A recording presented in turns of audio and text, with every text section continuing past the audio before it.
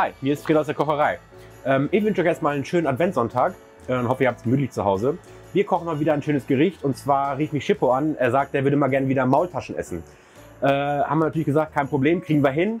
Machen es nur ein bisschen anders und äh, haben ein, zwei andere Abwandlungen dabei. Ähm, das Ganze gibt es nachher wieder im Video für euch zum Nachkochen.